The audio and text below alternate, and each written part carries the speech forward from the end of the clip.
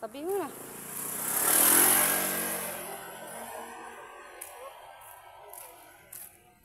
Tsaka sa English.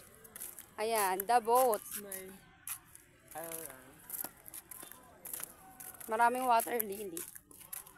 More boat in the sea. You see. Yeah.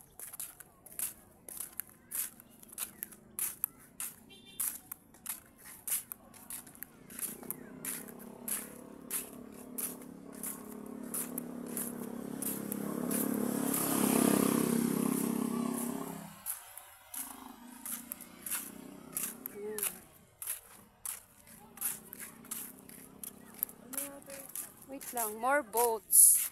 Yan. Okay na. Yan.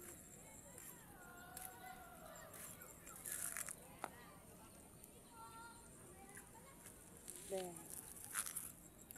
Naku, nakatime. Tara na, sakit.